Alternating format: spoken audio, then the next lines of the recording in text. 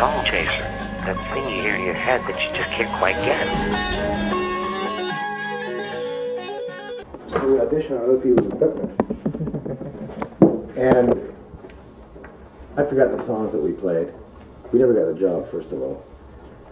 But uh, I completely trashed the guy's drum set. I don't think he liked me too much for that. Sound like a Keith Moon, huh? Well, I didn't do it on purpose. I just like to bash away on things, and his stuff just wasn't really capable of handling it. So, well, by the time I left, let's just say I wasn't exactly the most likable or liked guy in town. I used to do all kinds of crazy shit. What else did you do? Well, Now, Mark Mark Stone is still playing bass now. yeah. Okay. It wasn't until later that uh, when we finally did become established on the, if you want to call it the Hollywood uh, circuit, so to speak, or Gazzari's in particular, it wasn't until then that we really had any steady work of any kind. It was just, it was it comes. It was. Where did the um? I mean, I know you guys played a lot of those gigs, the Pasadena Civic, and you drew like.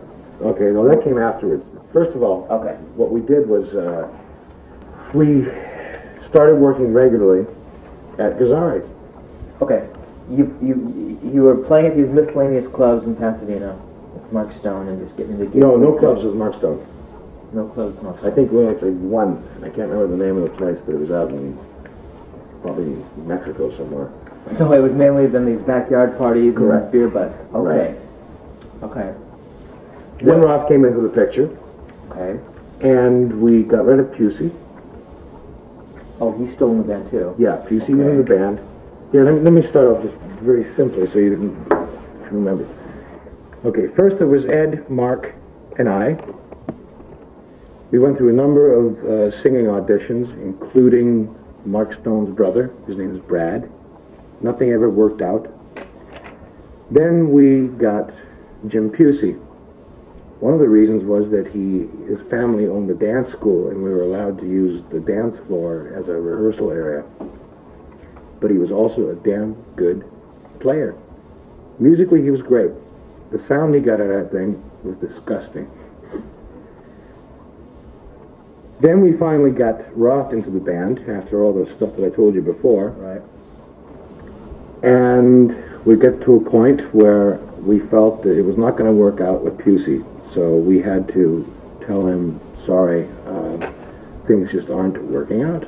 Now again, you're always the uh, the diplomat in the situation. Ed Well, yeah, it was, it was Roth and I who walked over to uh, Pusey's place. Can I take a leak real quick? Yeah. It was Roth and I who walked over to Pusey's place and I had to tell him. I felt like shit having to tell him this stuff. I said, you know, I didn't know what to say. I said, Jim, I'm sorry, but things just aren't working out. You know, he was actually more apologetic than we were. Hmm. He said, yeah, okay, I understand. And he just kind of quiet and walked away. I love these things in ice cream. Ice cream. Gary's out. Wasn't working with Gary. Who? Gary Pusey. No, it was, um, We were just talking about the keyboard player. yeah, I know, but his name wasn't Gary. Oh, I'm sorry. Jim. Jim, sorry. Jim Pusey.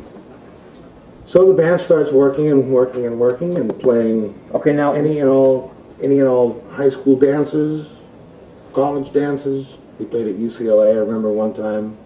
Uh, just anything and everything that we could find. this is Dave and, and Mark Still. Yeah. As Van Halen. Right. Okay. Then we started becoming more or less of a house band at Gazzari's. So Gazzar's was the first pretty major. Yeah, I would say so. down. It was, it was the first real, uh, steady type work. So you had gone back. You'd already auditioned at Gazzar's and been turned down. Right. What What was a change that? Uh, Um, I think the selection of the music uh, was more danceable. Again, like I said, Ed and I wanted to jam. We would go into these long cream uh, solos, and uh, well, it was great musically, but from a dance standpoint, it just wasn't happening. Mhm. See, this is where Roth was good because he was very in tune as to what the audience would like to dance to. See, Ed and I don't weren't really into dancing or any of that stuff. We wanted to make music. You know, we wanted to play the Palladium. We wanted to play, yeah, Wembley Arena. we wanted to do that kind of thing. But uh, slowly but surely, we got into more um, average public uh, accessibility. You want to call it that. Mhm. So we started playing more top 40. We started doing a little of this, but still throwing our own, uh, well, let's say this, our own Van Halenism into it. Mhm. A song that we did would never sound the same as it did on the record. Mhm. When we played Smoke on the Water, I mean, it was smoke on the Atlantic Ocean. You know what I mean? It was big stuff. Mm-hmm. And after, uh, well, after a few months, uh, we had steady work at Gazzari's. Uh, I don't want to bad rap anybody, but the reason that we had to let Mark go was that uh, it seemed that his interests were elsewhere than music. He seemed to be more interested in, in uh, what his parents forced him to do. You have to remember, we're pretty young at this time. And How old are you guys now? yeah, about 18. Which was illegal to be working in a club where they served liquor. Um, no, so we had to let Mark go. And what happened was uh, we were doing a show at a place called Pasadena High School. And this was our first real, full-fledged, big stage production concert, so to speak. Right. And this is after you've been playing Gazzari's? Uh, I, well, I'm not quite sure. Yeah, probably. This, this all happened basically around the same time. I mean, it's just a matter of uh, days difference. So we get there, and shit, man, lo and behold, the PA blows up. Into the picture steps Michael Anthony, whose band named Snake has a PA, and he offered us the use of his PA. They, they were playing on the same show? Yeah, they were opening up for us. So after our PA blew up during a sound check, uh, like I said, Mike uh, offered the use of his PA at no charge. So we figured, hey, what the hell? This is sounding great. So anyway, that's how we first met Mike. Hmm. Uh, What, what was, what were your and Edward's uh, feelings about Mike and then just meeting him, or do you remember? Uh, he was he was a really energetic performer. He had a great voice. Um, I didn't care too much for the rest of his band. who else was in his band? I don't remember. I just remember not. Yeah, What kind of stuff were they doing? uh, ZZ Top, uh, just rock and roll. But Mike was really, uh, he was the lead singer also, You was. bass player, lead singer, and uh, I was very impressed by him. He's, he's Mike Sobolewski at this point, right? Right. So uh, again, you know, it got it got to the point where uh, it became really difficult to work with Mark. And you know, I love the guy. If you're going to print anything, print that because I love the guy. He's really great. He's a great personality, great guy to be with, and he had a great sound. But uh, it just did not work out. So at one time we uh, got together. It was Dave, Michael Anthony, or Michael Sobolewski at that time, Ed, and myself, and we played in the garage that we uh, that we rehearsed in. And just right off the bat, we, we hit it off. I mean, who, who, approached Mike's to, I mean, he had his own band, I mean, what, what would make We did. I, I can't remember who, who in particular, but we just approached him. Um, uh, whether I think it was Ed or me. And we called him up and said, "Come on down, and why don't we play a little bit?" Did Mike know about Van Halen, the band? I'm sure he knew about the band. I don't know that he knew what uh, what the reason or purpose was for for him to come down and play. Mm-hmm. But uh, well, he came down, we played, and we said, "Hey, shit, this is it." And then uh, again, it was my fucking job to sit there and have to tell Mark. And I felt like such a I felt like such a piece of shit. So I'll never, I'll never forget. We're sitting out in the back of Roth's backyard, and Mike says, "Well, can't you just give me one more chance?" And I just I had no alternative but to say, "Sorry, man." You know, every everybody fucks up, and I feel bad because I've fucked up before. In the 11 years that we were together, I've gotten drunk on stage twice. And believe me, it's no fun to have everybody sit there, point the finger at you and say, hey, asshole, you fucked up. Thanks a lot. So would Edward just feel uncomfortable being the one to do the dismissing, or was it just Uh, not he would him? just basically uh, just say, Al, you do it. And, well, it had to be done. So we did it. So do you have any idea what time period this is?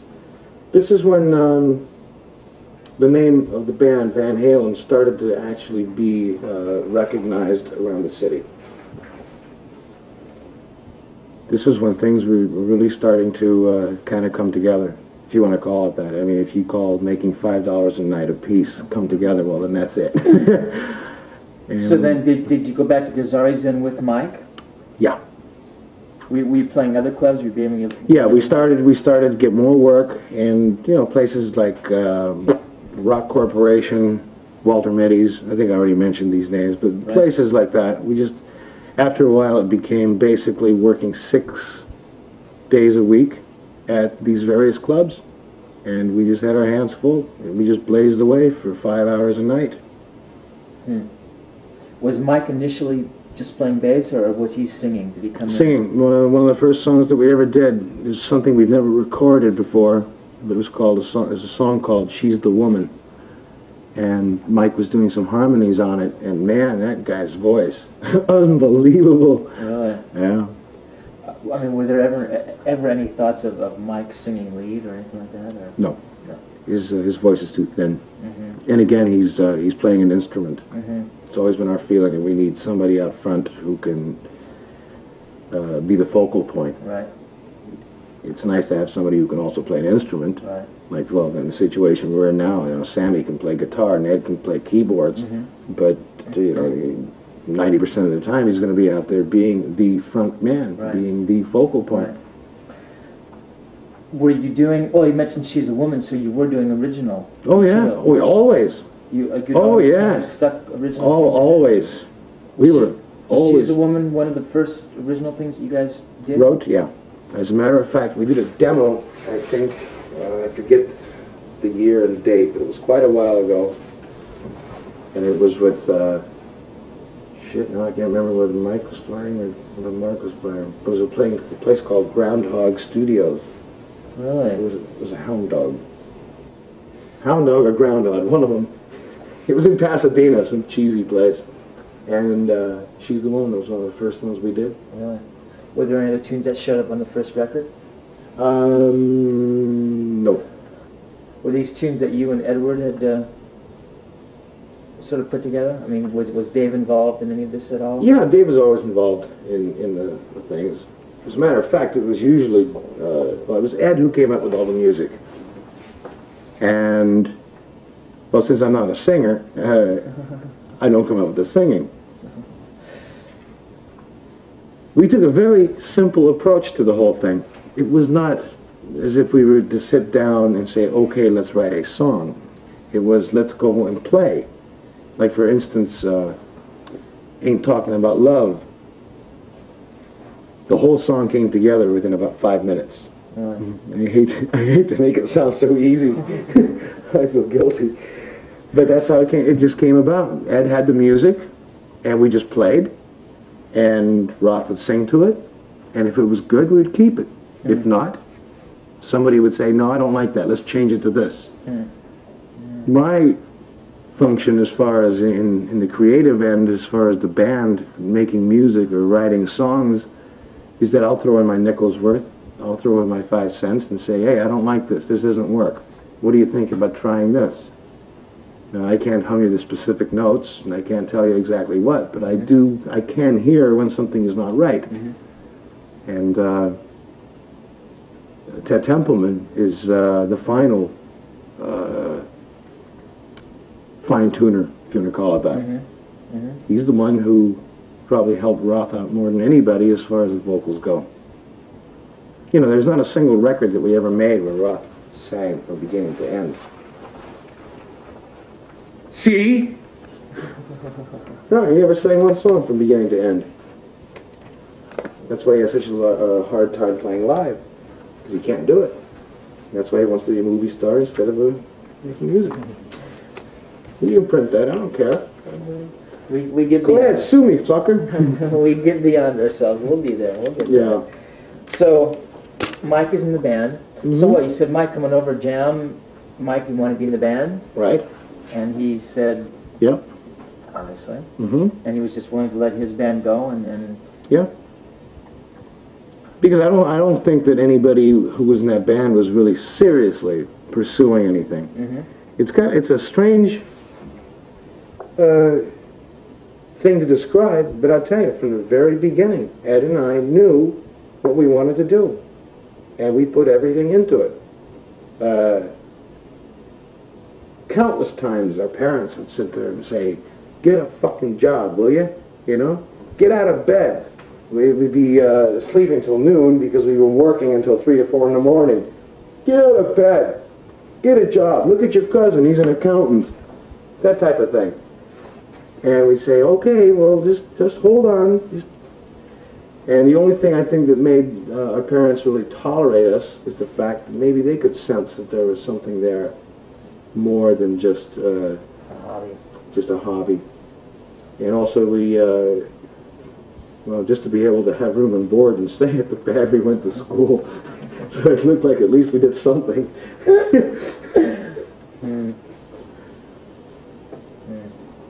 But anyway, so then we, uh, we just sat there, and we played anything and everything we could. And it was basically at this time that we started playing all the clubs. Almost uh, no more high school stuff, no more uh, backyard parties, just clubs. So you were graduating then. Yeah, if you want to call it, reaching a different plateau. Mhm. And then we started promoting our own uh, our own gigs. How many of those did you do? Quite a few. Uh, we used to. What was the name of the place? Uh, International Casino. It was a converted bowling alley, and I forgot the guy's name. I remember his first name. His name was Roy. Roy somebody, who was putting on these concerts, and we'd cut a deal with him. This is say, in Tortomasi or something. No, no. Tortomasi came later on. Uh, there's a place called International C- uh, Casino, and I think it was in Duarte. Anyway, one of those outskirts of the outskirts. You know, Pasadena is an outskirt of L.A. Well, Duarte is an outskirt of Pasadena. Uh, and we would uh, go to Postal Instant Press. We design our own little posters, and at night we would go to every high school in the area and stuff lockers. Hours on end. Usually about 10,000 of them. Wow. I mean, these people probably got sick of looking at these things because they'd be all over the place. We'd tape them up on ceilings, we'd tape them on windows, we'd put them everywhere. And, uh, well, that was basically the start. And if I say basically one more time, then I want to sit there and stick my finger in my throat. But that, that was how it got started.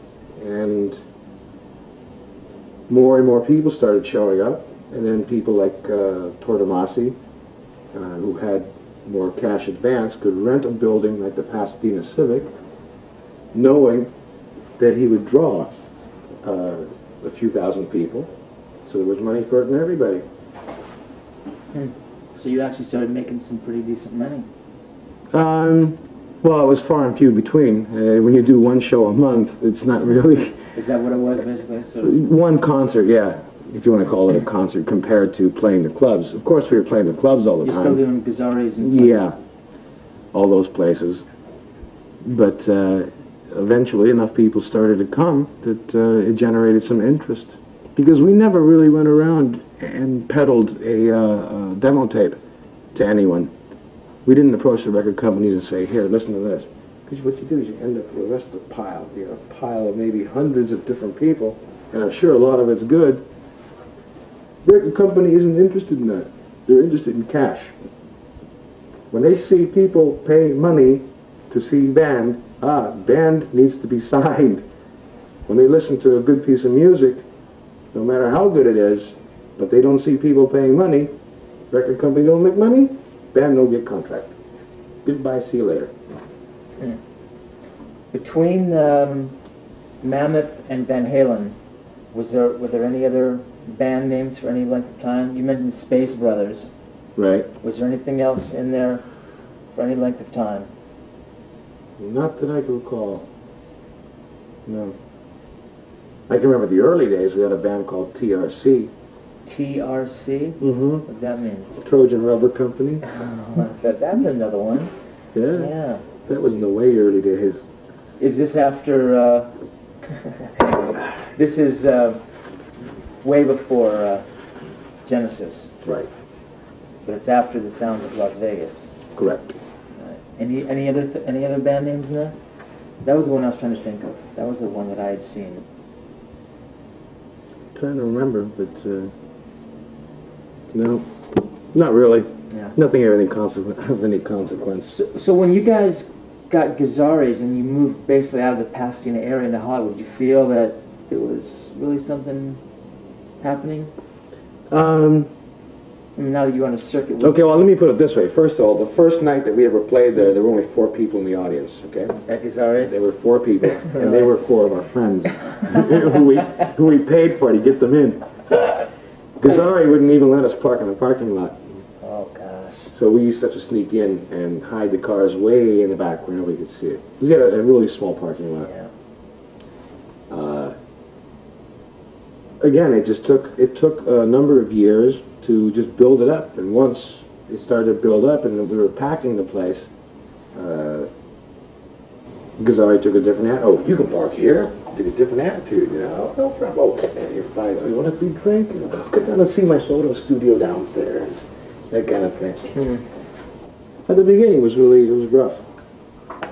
I'd be sitting there hoping and praying on the way to the to the gig that uh, there would be people there to dance because if there's nobody dancing, here we go back to the same old thing. The buck. So, so you got the gig at Gazzari's, and what he said, you guys can come back next weekend and play, Mm-hmm. and then you played, and, and you got a reaction or something. Right. Or? We just started to. Uh, I don't know. Something just clicked. Yeah. Something clicked, and the the audience loved it, and they got in there and they danced. I mean, it was, it was packed, and um, we just took it from there. But Bill Gazzari himself never thought the band was anything. No, not in the beginning. It wasn't until later that we, I think he upped our pay from fifteen to twenty dollars a night. How much were you making at the very end? You remember? Um, let's see, probably about a hundred dollars a night to split four ways, and then expenses, of course. Like I said before, drumsticks, drum heads, guitar strings. didn't you guys all used to drive out in some old van or something? Yeah, the old Econoline, the blue Ford Econoline. Really? We used to pack that thing to the hilt. Uh, What year was it? Oh, God. 62, I think. An old 62. Again, this is something Ed could probably can tell you better. Who used to drive? Ed? Ed Joe? Oh, it's his car. You wouldn't let me drive it. God. Huh. So you're basically you're doing these uh, these Pasadena Civic gigs. You're playing Gazzari's. Right. Um, I suppose a Starwood and the Whiskey started. Right. We started doing that. And then the strange thing is that uh, I got a phone call. See, we, we auditioned at, um, at the Whiskey.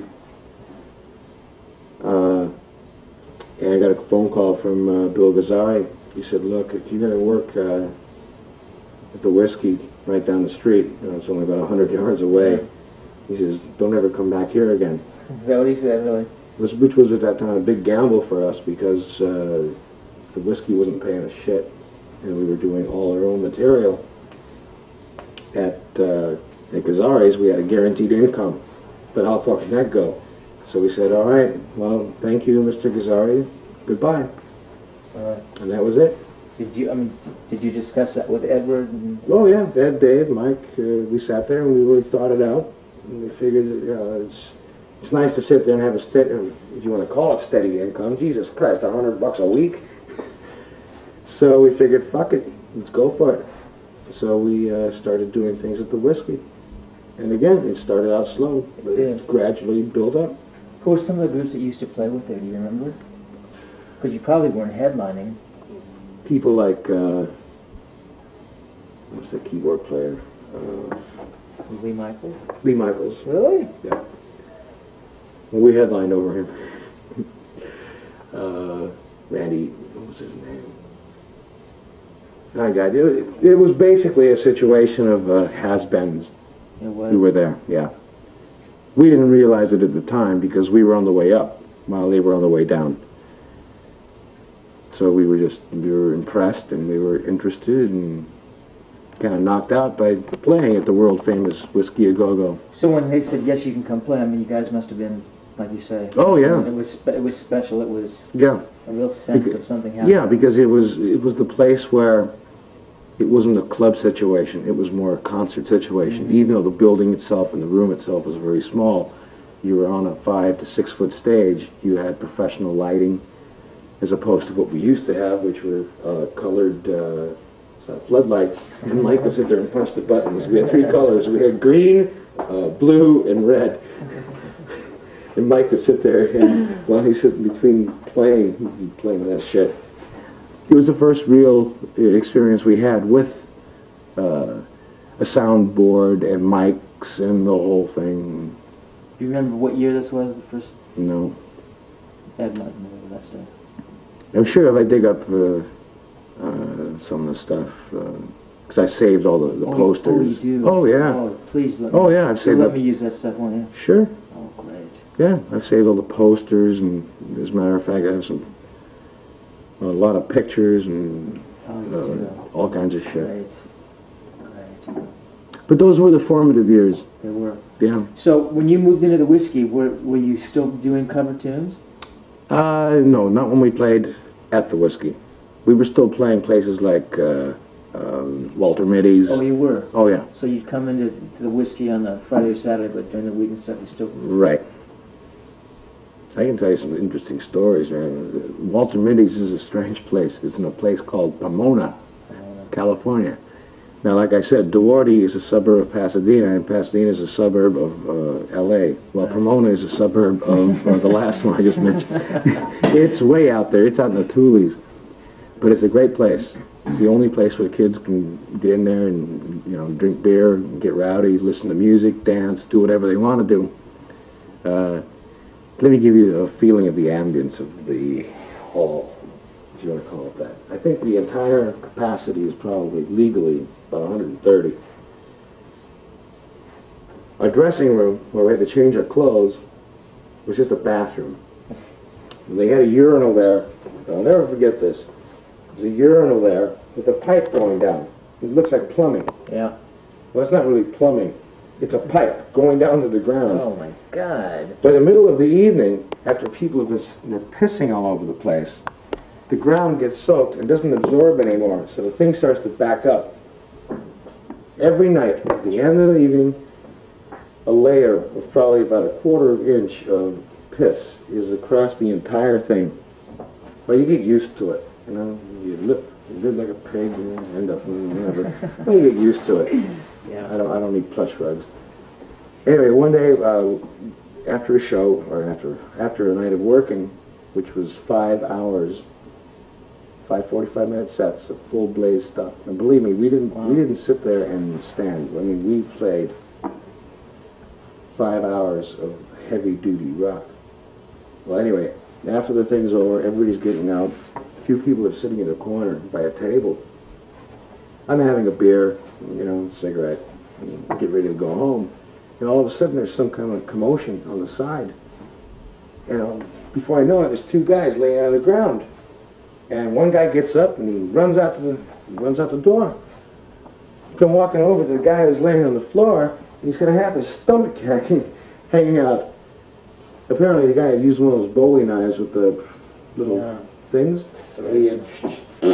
So he had, and he yanked his stomach out. Now Ed's looking at this, and Ed kind of, uh, well, he's a little squeamish.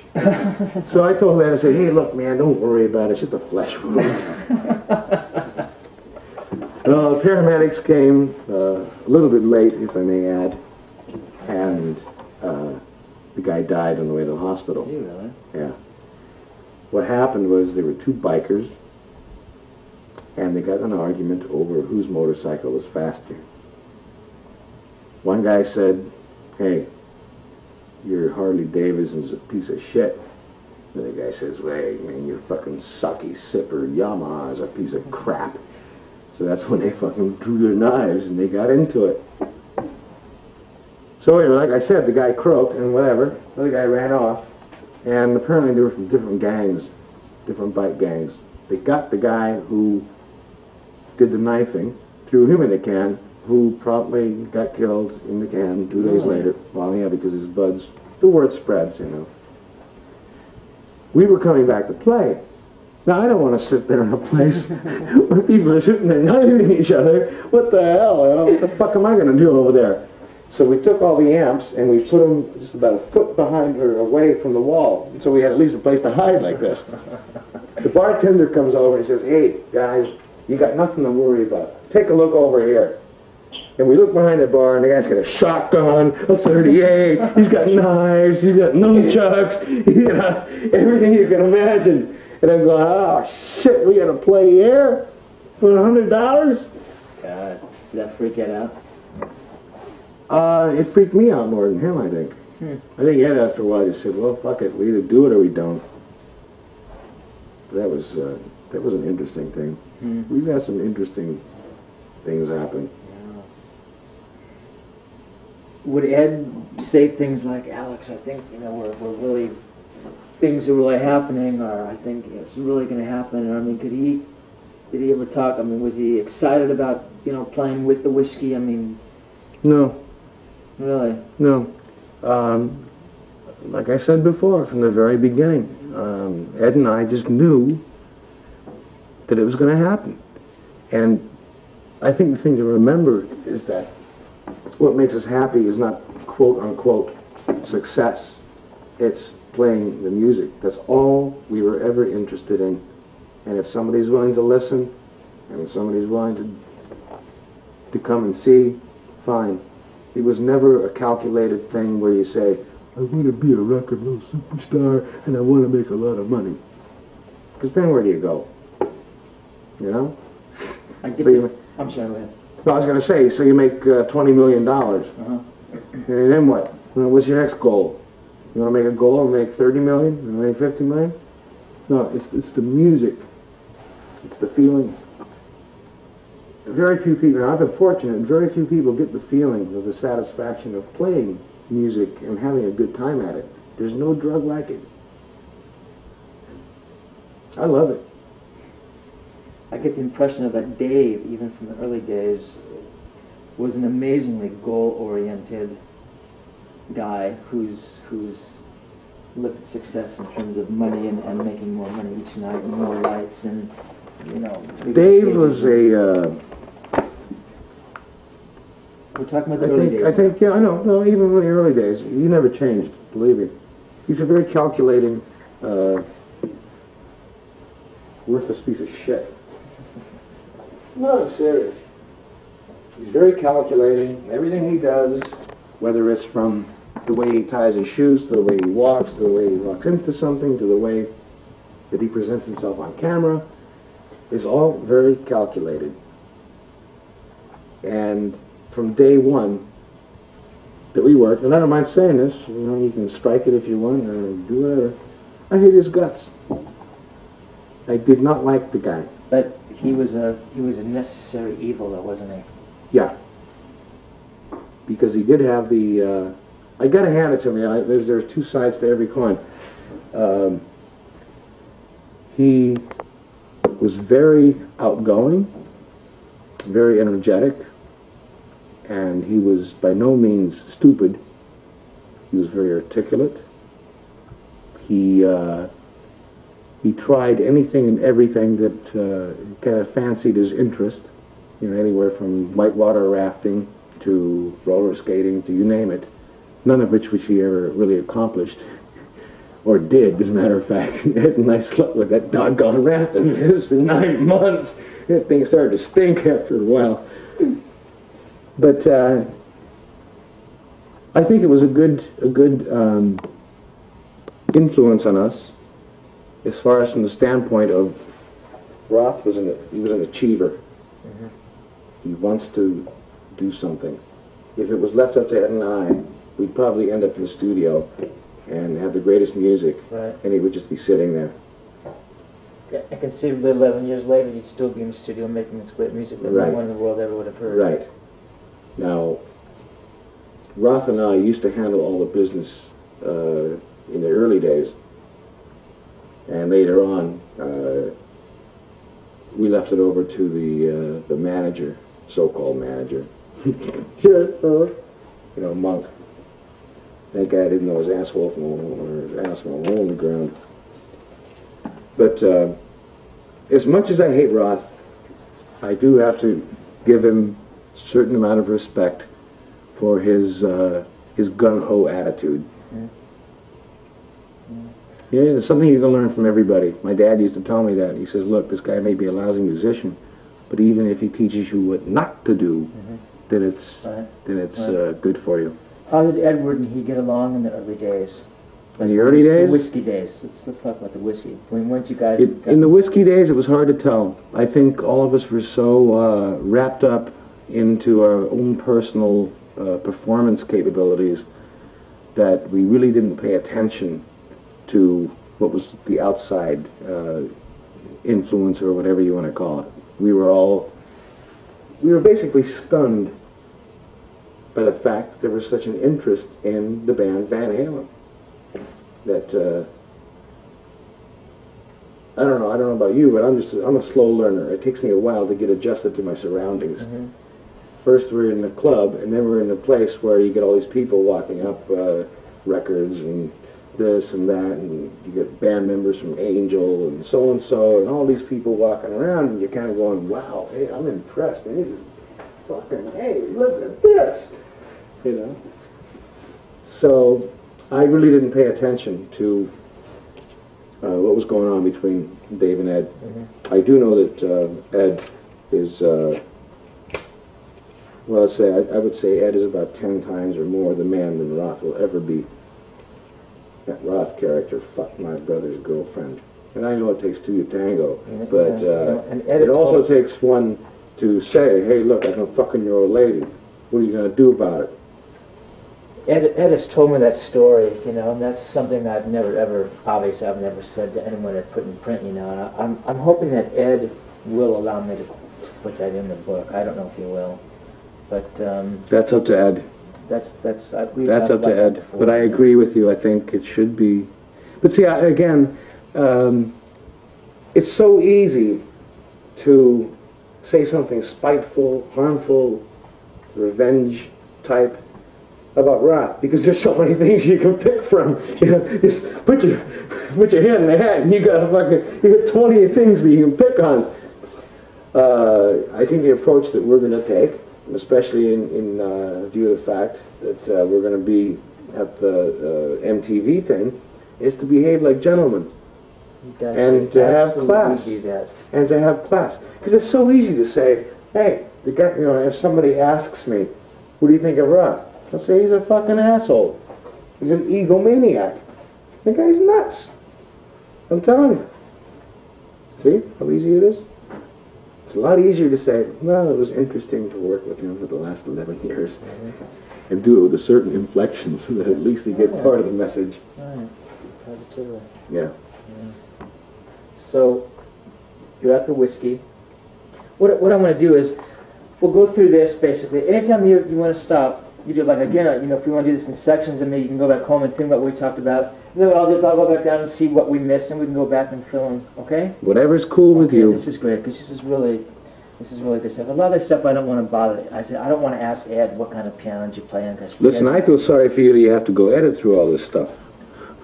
That'll be the easy part. Putting it down is the hard part, believe me. Okay. So we're at the whiskey. You guys are doing all original tunes now. Yes. Basically, I think I think one one or two cover tunes, Right. maybe something like You're uh, doing You Really Got Me. Superstition. Yeah, right, right. right, That's in the set. right, I mean, running with the devil and, and talking Mhm. about love. right. Uh, believe me, that was one. Believe me, that was the first tune that Ed ever wrote. He told me. Yeah, never came on uh, on a record. No. It's a good song. Believe me. Yeah. Yeah. Yeah, we basically did. Uh, I said it again. It's okay. And the reaction to the material is was great. Of course, it, it started again slow. Uh, nobody knew what a Van Halen was. They thought it was a shirt. Van Heusen's brother Uh, There, there were some key people though in the early days. I think people like Rodney Bingenheimer. Did he help generate that at all, or, or Kim Fowley? Were there people? I think to a certain extent, um, to the extent that they came in sooner. See, had they not come along, then it would have happened anyway. Yeah. Had Gene Simmons not come along and done the uh, the demo thing that we did in New York, had he not come along, sooner or later it would have happened. Uh, I, I, I really feel bad or well, apologetic or whatever that it has to be this way. But the record companies just look at dollars and cents. And when they see, when you put your own show together and you got X amount of kids, they see money in it. And that's when they go. They say, okay, sign them on. All this artistic stuff, bullshit. Hmm. That's, that's my true feeling. What were Ed's feelings about it? I mean, what did Ed? At that time, see, this is the way I feel now. At the time when all this stuff was happening, this was like bigger than life. This was amazing. I mean, my God, Ted Templeman, Mo Ostin coming to uh, the Starwood with uh, nobody there on a 99 cent night, wanting to sign the band. Uh, this was it was amazing. So you went from the whiskey to Starwood. Starwood's last. Oh, we did, we no, we did both. You were doing like simultaneously, Right. but you played the whiskey before the Starwood. Do you remember? I don't remember that. It was basically simultaneous. It was. Right. Uh, If I'm not mistaken, I think the Starwood first. So you plan the Starwood. It's a Sunday night. Mm-hmm. You don't have any idea what the date was like. No. And there was no one. There was no one there. There was no one there. But, Uh, I, there may ten people at the most. but I thought you guys were sort of. I thought Van Halen had a name. Anytime Van Halen played at a club down in Hollywood, they were going to draw people. At that point in time, people were very. Well, just mention the name or the word Hollywood, and people would think that you're in a different sector of life. Because that's when the people started to wear makeup and, you know, alien guys, uh, and wear spandex and Right. big heels and the whole bullshit. And you got your average person from, say, uh, from LA or Pasadena or Guatemala, and they look at it and go, wow, this is kind of strange. But I walked in there and I go, Jesus Christ, these guys are weird. What is this crap? So it became very uh, sectioned, like I said. Mm-hmm. Because like I said, when we were playing about around that time, we auditioned at a club in Pasadena, which was the Handlebar Saloon. And they said, you guys look too much Hollywood. Oh, this is period. Yeah. It was just, uh, anyway, it just, it just knocked us uh, flat. It was So, so how did the how did that whole thing come about with, with Ted and Mo coming by? Where did where did that contact come from? How did they know about this band Van Halen? I heard it was a secretary at Warner's. I mean, I don't know. what It may have been. is. It may have been. But like I said, it, it's uh, it's just the word of mouth that uh, it just spread because we were starting to draw larger and larger and larger amounts of people to our own shows. And somehow the word got out, and they came by one evening, and Ted was Ted was completely just knocked out by the way Ed played. Really? And, uh, well, the next day we signed. uh, it, it- what's really funny, though, is uh, when we did sign, uh, Ted wanted Sammy Hagar to be the lead singer. Is this he really wanted Sammy from Uh-huh. We wanted Sammy to be the lead he, singer. had- he had produced Sammy the Montrose records. Right. And Sammy was kind of in limbo, not doing a, a hell of a lot. Right. And, um, well, because they had worked together, uh, Ted knew what Sammy can do. And, well, it, well, you know, that, that's the one thing that really ticks me off, is the fact that uh, Ted waited so long to say it. He should have, he should have told us right up front. He waited for about three or four years before he said, did you know that I originally wanted to have Sammy sing for you? Wow. Had he said something right there and then, it might have changed the course of history. Would you have said to Dave? I don't know. I don't know. That's, you know, if wishes were fishes, I, I, I don't know. So Ted and Mo came down Yeah. that night, just the two of them. Mm-hmm. And after the set was over, well, they came upstairs and Mm-hmm. Yeah, they came upstairs and they said, "Hey, it's great and uh, nice to meet you." And I mean, I was I was half in a daze anyway. I was just kind of my ears are ringing, my eyeballs are shut from the lights, and the rest of the crap. I'm sweating about 100 miles an hour, and uh, I'm impressed that uh, the president of Warner Brothers is here, and the vice president. I didn't know there were about 10 more vice presidents, but that didn't matter at the time. So, Did Edward talk to him at all? I'm sure he did. I don't remember. I was I was taking a shower. Yeah. Who was that? Who else was on that show with you? Do you know? Mm-mm. Someone said that was Y&T. Is that possible? We have Actually, played. they were With, yesterday and today at that point. we have played with him before. Lenny's a good guy. He's my kind of guy. He's a slob. hmm Who were some of the other bands that you were? Oh, I, I asked that before. Some of the Starwood shows. I'm just trying to curious as to who the other bands are. Were the bands like Eulogy? Wasn't that like a Pasadena band? That's a Pasadena band, I right? think you actually played with them. I have a little flyer thing. You played a show with them. Uh huh. A band called Snow. Yeah. A band called Reddy Kilowatt. Yeah. That's oh, Ed's favorite friend. Terry Kilgore. Terry Kilgore. Right? Yeah. What I, I I've talked to a few people that were that had seen the show, and they said that Terry and Ed were like these two guys, and that Terry conceivably was as good as Ed, but at some point, No, Ed, he wasn't. He was. Wasn't? He was never as good as Ed. But Terry's a nice guy. At some point, is. Ed just got he just went from like this level to that level. In fact, the whole this is the whole band, the vocals, the everything just got so professional. You know, I don't know if that was a conscious thing or was just playing in Hollywood where it had to be. I'm just, you know. That is a difficult question to answer. Terry's a real nice guy. Um, but he's got his head up his ass. hmm I, I don't know what it is that he wants to do. Uh, he's a good player. He's fun to be with. But uh, I think what you said is, is probably correct, which is that uh, we went to a different uh, different level. He was still the, the garden, uh, the backyard party boy, and we went into a different uh, a different mode, so to speak. Yeah. yeah. Hmm. Didn't uh, Ted say, listen, I, I really like the band, I want you guys to do a demo for us? And then didn't he say, fuck the demo, let's, I want to just sign you guys? You guys were signed without a demo? It was along those lines. We did go in and uh, in about two hours we recorded about 25 songs. I still have that tape. You did? Yeah, and it's good. Really? Uh, it's good. It's not. Uh, I wouldn't say it's not produced to the point where you know to, get the full Mhm. thing out of a song. But uh, it's there, and Don recorded it, and it's uh, it's good. You can uh, you can get a hold of me on my uh, Instagram page anytime. Steve dot Rosen dot guitar dot pics. Uh, or you can check me out on Facebook. I think if you type in Steve Rosen Tonechaser, you'll find me there. Um, so, okay, bye.